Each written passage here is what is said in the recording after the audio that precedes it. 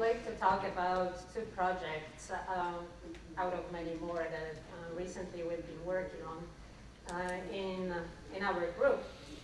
And one will cover um, CFD analysis of hydroplaning risk, and the other one will uh, talk about uh, grate efficiency, uh, grate hydraulic efficiency. So my first slide is a short introduction to both of these um, studies. First one talks about hydroplaning. So the major thing that we are um, concerned about in this study is the water film thickness that um, forms on a roadway. And we are talking here about two or six lane highways uh, with different cross-sectional slopes, longitudinal slopes, um, at different uh, rainfall intensities. There are, of course, many other factors that influence the risk of hydroplaning, um, which are mostly connected to, to the tires. But we are not talking about this uh, in, uh, in this uh, uh, research. We will be interested, though, in, like I said, the film thickness, also the spread of the uh, film thickness on the road, we, at which point are we getting to a thickness that, uh, of water film that could cause hydroplaning at certain um, vehicle speeds? And uh, also we are looking at the part of the roadway where we, can, where we see pooling of water. In the, uh, in the second part of my presentation, I will talk about the um, hydraulic efficiency of, it, of a grate.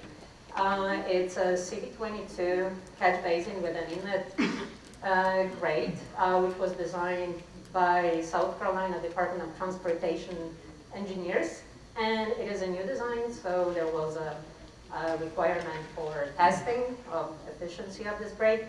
And so we, we are still working on this. Uh, this study will uh, result in efficiency curves for the catch basin.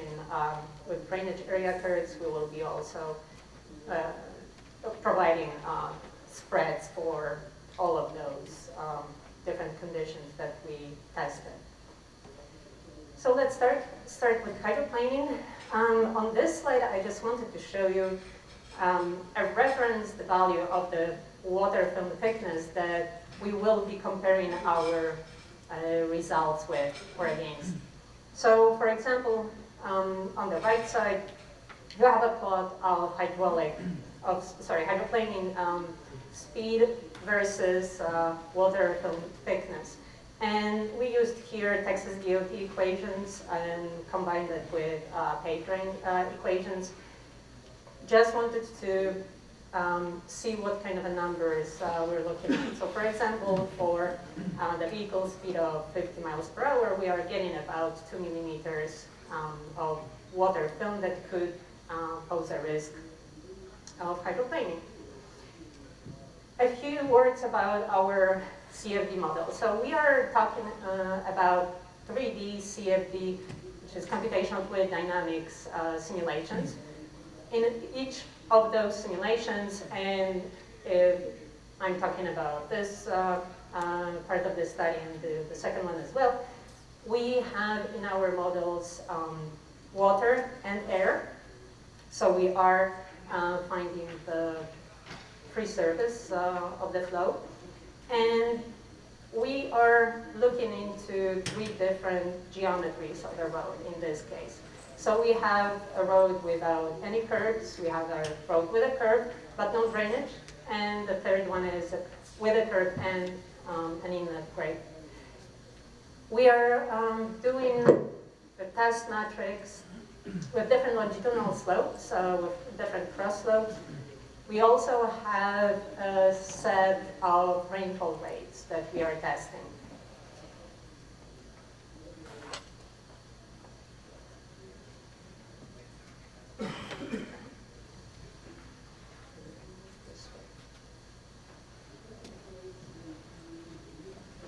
Okay. Sorry about that. So on this slide, you will see different uh, plots of a cross section through um, through the water film and through the water thickness that's, uh, that's much um, higher than uh, or bigger than a few millimeters.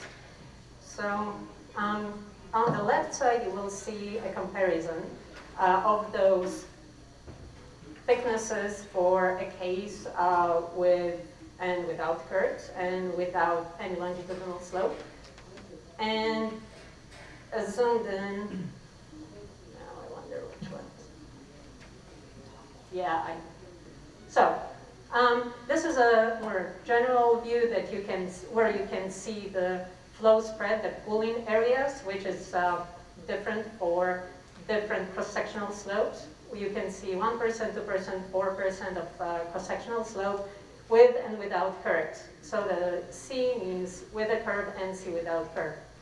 If we would like to look more closely into this area, um, we would look here at this plot where you can see um, what is the, uh, the film thickness uh, closer to uh, closer to the median. So maybe that's how I should start. This is of course the, uh, the highest point, could be median in the road, and this is the, the lowest point. So you can see that, for example, here I plotted the um, two millimeter thickness.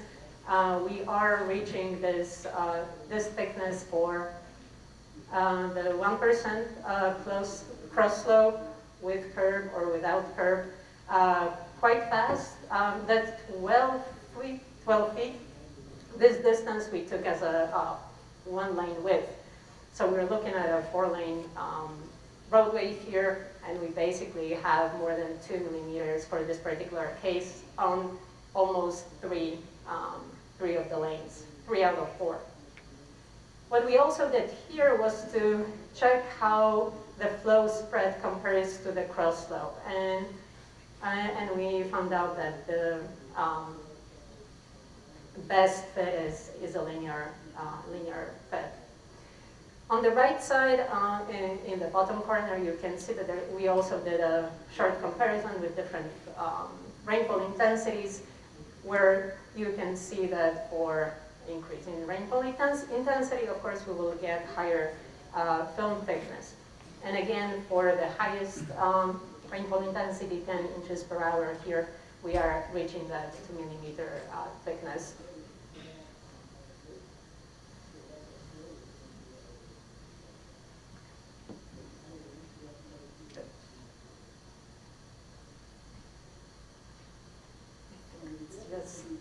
slower than we'd like to be.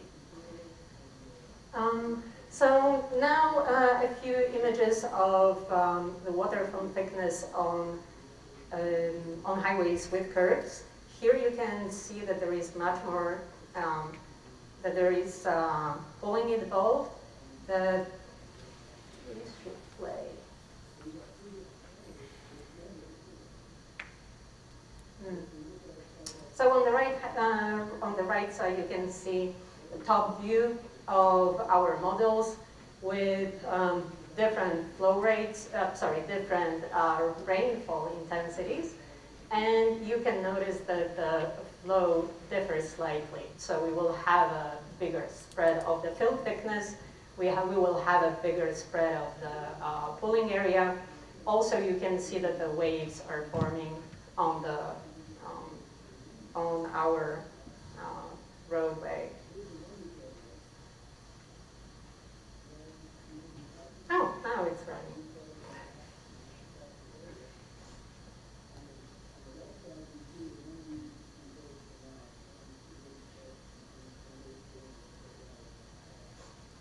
Okay, a case with longitudinal slope, we will have here um, much more uh, standing waves, uh, as you can see, without curve is on the, um, on the top, with curve um, and other geometrical uh, conditions exactly the same on the bottom. And you can see that the flow depth in the part where there is no pooling is quite similar in both cases. You can see it also on that plot, which is a cross section through uh, through the water surface. Uh, but then, of course, we will get some pooling um, in the uh, lowest part of the in the lowest part of the road. Again, um, two comparisons, uh, I mean two cases that we compare. Uh, in this case, we have a, two, a comparison between a 2% um, cross slope, sorry, longitudinal slope and 4% longitudinal slope. And so you can see that on the top, the water uh, surface is more uniform. On the bottom, you will see more of a standing wave formation. What we're also looking into in this project is if it's possible and how to, well, it is possible, now we know that, but um, could we use um, different road surfaces in our project, meaning permeable surfaces? How to model it in a way that we get um, very detailed results.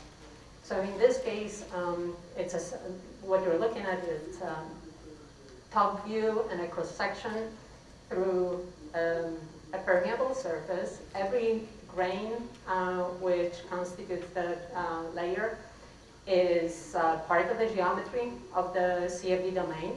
So the flow can go above the uh, grains, in between them. It can go down and then come back to the surface. And of course, there are other um, simpler ways of modeling porous media, but we decided to take a look into something more detail.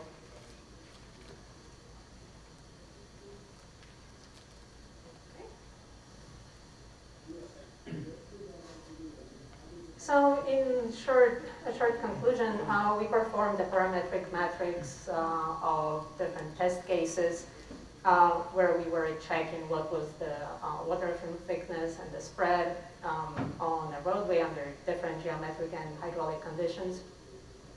Uh, thanks to the use of the CFD um, modeling, or and the three-dimensional modeling, uh, we were able to capture more details of the flow, which would be impossible if we used simpler um, solutions. and so maybe one of the one of the um, conclusions that's quite important for, for all of us is that we found out that the water film thickness on um, wider roads, which are um, three four lanes, uh, which is the critical value, value for hydroplaning. Um, so we should, uh, we should remember that when we drive. And maybe because, yes, we are definitely uh, out of time, I will go to the hydraulic efficiency of the grate. So the ZB25 like I said, it's a, it's a new design, so uh, we had to come up with a way to, to test it, and instead of um, doing experimental results, um, we were asked to do some CFD modeling. And we came up with a test matrix in a way that we took a uh, set of flow spread values that we wanted to test uh, up to the maximum that was um, set up for us we calculated the flow rate from HEC 22 um, for these cases. Uh, then from this, we've got the velocity, uh, which we used as an inlet um, velocity boundary condition in our uh, simulations. And as, as a result, uh, we were supposed to get the efficiency of the grate, but also the front flow, uh, side flow, if there is any back flow as well, bypassing flow, what are those ratios? So again, in this case, we have air and water in our domain, and as you can see on the bottom, um, our simulation consisted of a set of um, tests of uh, this kind. And base, so the water is flowing into the domain from the left, going to the right. Some of it is flowing into the grate. Other, the, everything else in, is bypassing it. And the geometry of the road was basically this part of a typical cross-section of a six-lane uh, divided freeway. And as you can see, we can get quite a detailed image of the flow around the grate, which I will be also showing on the next slide. So um, 3D CFD allows us to notice different types of uh, flow patterns around the grate. So for example, we are talking about a 100% efficiency and where when the flow spread is um, less than the width of the grate, we are talking about some flow bypassing um, the grate. There is some um, side flow here, a small percentage. Some of the flow is, by, is bypassing the, uh, the grate. And then for the extreme cases, we have an overflowing, um, overtopping flow. CFD allows us to look, like I mentioned, in, in, on many details of the flow. So for example, here the blue surface is the uh, water surface, and what you're seeing here are three surfaces that we created, defined in the model to capture what is the flow. The red is the volume fraction of water, so basically the, the water part in, um, on this surface. Uh, so we can capture the front flow, we can capture the amount of the side flow, if there is any uh, back flow, the same. On this one, I wanted to show an interesting thing. Um, I, so the lines that you're looking at are streamlines, the velocity streamlines, and they were colored green and uh, purple. The green ones start at the shoulder, and the purple ones start on the roadway.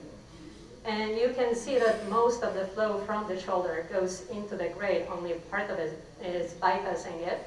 And the, the flow that started on the roadway, only in a very small um, portion goes into the grate. Most of it is bypassing the, the grate.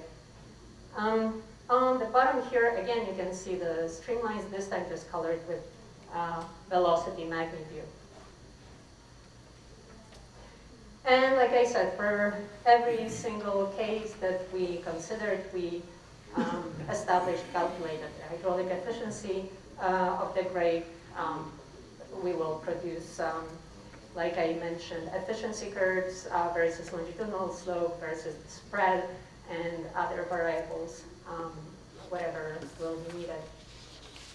What we also looked at was uh, a correlation between the efficiency, the grate efficiency, and upstream Reynolds number and Froude number.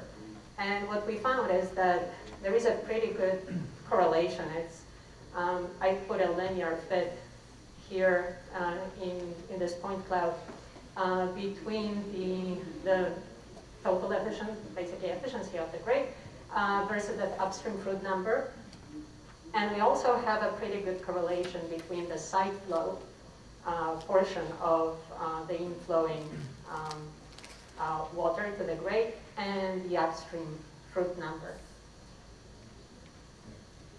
And in conclusion, um, we analyzed the hydraulic uh, efficiency of the, of the inlet grate and CFD allowed us to run a, a quite a large parametric set of, uh, of cases, um, which uh, I think it will be still less time consuming and um, cost effective than um, experiments.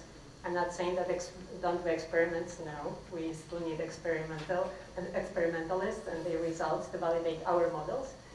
Um, but we are we can get those um, those results quite fast. Um, and thanks to CFD modeling, we can uh, look into the detail of the flow again.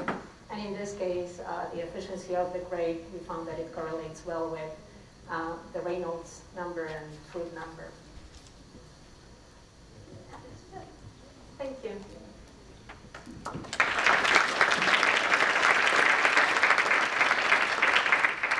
Any questions? Uh, first of all, uh, impressive study. Like, thanks for the presentation. Uh, second, did you use any experiments to calibrate your model, the CFD model? In this case, there was no experiments performed. So mm. No. Was it like um, like a common application of CFD? Like you know, like you're sure, like like do we need further verification in the future, maybe? So have standard CFD models that we can reliably use in the future. I think that in this case, uh, it is a standard. Um, use of the CFD software. Uh, we did this kind of a study before uh, for um, Minnesota DOT with 88 rates. And yeah, I think it will be, it, it will be done in the future. There will be more studies like that. Like uh, maybe a suggestion is uh, the Sure. literature is like rich in data for grate inlets, so many experiments. So if we can test it against a previous study, sometimes that would be great. We can see Sure. like against it. That would be. Thank you. Thanks.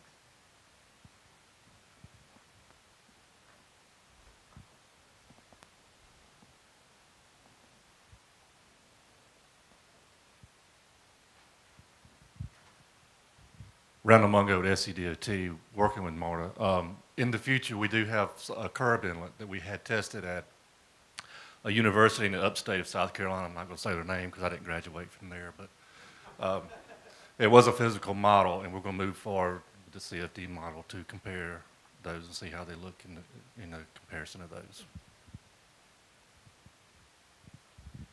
Um, it was really cool the waves on the. Uh. Are those capillary waves that are, that are coming down, or, or are those a very small gravity wave? Um, let me show you. You can see the difference in, in the depth. So for example, in this one, will it run?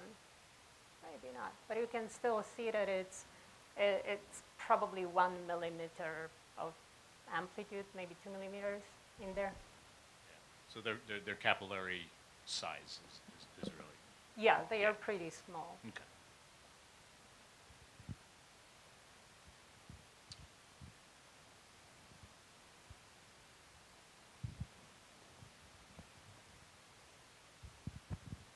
Yeah, thank you very much. Uh, we know that uh, the the hydraulic planning is occur when the, there is uh, surface water on the on the road. Mhm. How did you uh, reduce that planning uh, planning risk? Oh, so um, that's a very good question. We didn't work on it yet. Right now, we were just um, uh, assigned a task to uh, check what the, what those thicknesses are and what is the uh, spread on the roadway. Yeah, So I this is still something yeah, that I see that you mentioned uh, you mentioned that uh, uh, the cap and the draining. Uh, uh, I'm talking about draining. When you are talking about draining, that means uh, you have to catch base or inlet on the uh, like like a distance from uh, upper stream and lower stream. Mhm. Is there any uh, distance between one inlet to another inlet? That distance is, uh, to say, is uh, what I say, because if, if there is only one inlet on the downstream, Mhm. and then that the, the, the runoff water, uh, he can handle, he can handle that the catch base, he can handle that that volume of of, uh, of water. right. That's mean if you put some uh, more catch base or more inlet, I think that for that way you can reduce the hydroplaning. Oh, I'm, I'm sure there is uh, the distance, critical distance, um, or um, minimal distance that uh, you're talking about. But in this case, we didn't look into this. We wanted Yeah. to see what will be, uh, what kind of flow pattern we will get when we put any kind of um, Ye- opening in Yeah. the road. Uh, And we didn't differ the, the size of this opening, we didn't differ, we didn't put any um, real catch basin. It's basically right now just an opening in the w- roadway. uh, what I have suggestions uh, on Oh. the future, you can Uh, try. Steve, who yeah. works with me, would like to add something.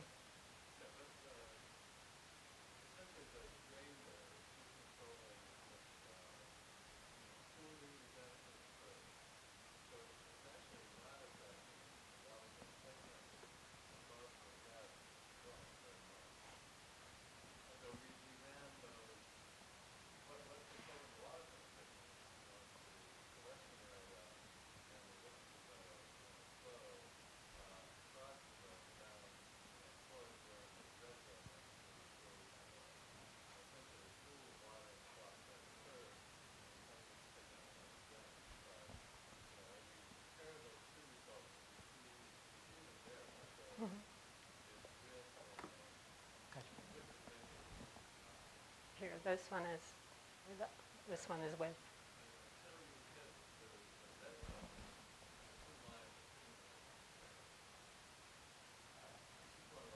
Yeah, uh, what I'm talking about on the future, if uh, you can see the elevation of the of the uh, the one catch base and another one to see what the maximum elevation of that catch base on the upstream Mhm. and the lower stream, and then you can see what that hydroplaning between that catch base.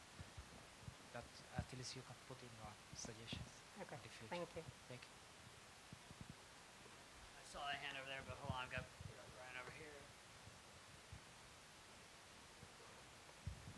Um, Maybe I didn't catch it. Did you talk, you talked about porous pavement and its impact on the water film thickness, or, So what I mentioned is that this is the next step. We started with um, a proof of concept uh, model for the moment, where uh, we generated this kind of a porous permeable surface, and um, I ran a few cases just to see how it works, if it works at all. And but we will be working on this. We would like to somehow incorporate permeable pavements into our uh, hydroplaning study as well. okay, because the the Dutch um, do this research a lot, and they, they claim it does help with hydroplaning, but it must be related to the intensity of the rainfalls and the depths of the porous pavement and slopes and such. Oh, I'm sure, because like, even in this case, you can see that most of the flow goes through, uh, goes in this layer, goes in between those grains, instead of staying on the top of the surface. Um, This is again, just an example, uh, the porosity was pretty high in this one, um, so it wouldn't serve as a road surface. But um, I'm pretty sure that there would be some improvement if we use this kind of a surface. I think you mentioned uh, cross slope and longitudinal slope and Yes. its uh, effect. How much does it affect the thickness, that two millimeters or uh, whatever thickness in, uh, on the road surface, uh, away from the curb? So there will be a difference. My slides are, I think, too big for this computer. Okay, so let's, uh, let's look about, for example, at this one. So you will see about a millimeter of, of a difference, or less. For example, here, uh, the purple line is 1%, this blue line is 2% cross slope, and then we have 4%. For the 4%, we didn't get such a smooth surface. That's why you see these uh, basically waves, a non-uniform uh, surface. For the other two, that, that was just a nice, very uniform uh, surface. So the difference between these two, it's uh, about half a millimeter. Then between this one and this one is more like a millimeter and a half or a millimeter in, in the maximum spot, of course. And the longitudinal slope effects? With the longitudinal slope, I think that I had one plot here. This is without. If not, okay. But here we have a only comparison uh, with and without curve. You know, we have Okay. many Yeah. plots Yeah. Created, and I just had to Right. choose a few. But it will be. We are working on a report, technical report. It will be published, so um, all of this data will be available. I hope soon. Thanks. When we're done. Thank you very much. Thank you.